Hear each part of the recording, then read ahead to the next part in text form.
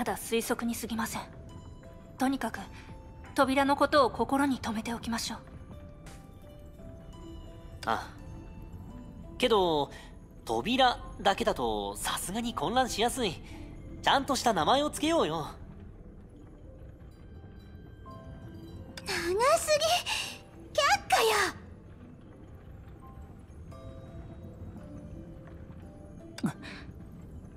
一応メモしておきましょう。新しいプロジェクトで使えるかもしれません。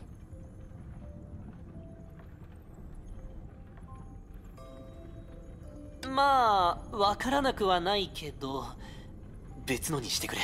頼む。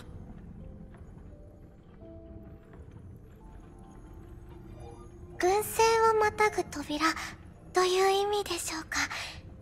先輩はロマンチストなんですね